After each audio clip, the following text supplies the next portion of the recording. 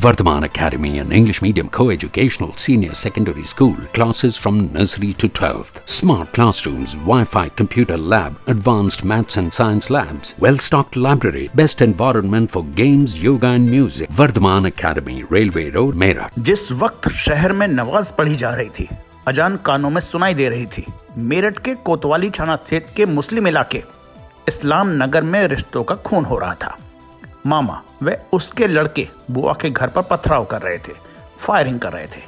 कोई बाहर नहीं आया, लिहाजा बात यहीं तक सिमट गई। वरना जिस तरह मामा व उसके बेटों में आक्रोश, व उत्तेजना थी, कोई भी गंभीर घटना हो सकती थी। पहले देखिए वह सीसीटीवी फुटेज जिसमें यह सारी घटना कैद हो गई है। मैं हूँ रवि शर्मा और आप देख रहे हैं फ़र्स्ट बाइट टीवी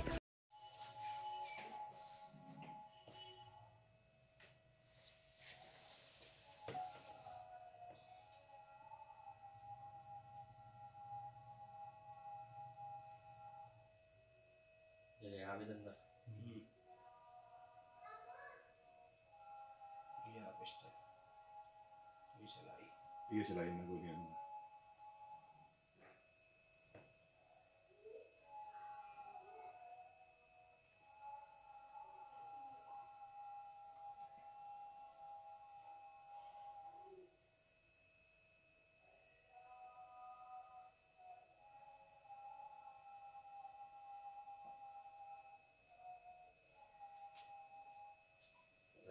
घटना की सूचना पाकर पहुँची पुलिस ने हालात पर किसी तरह काबू पाया।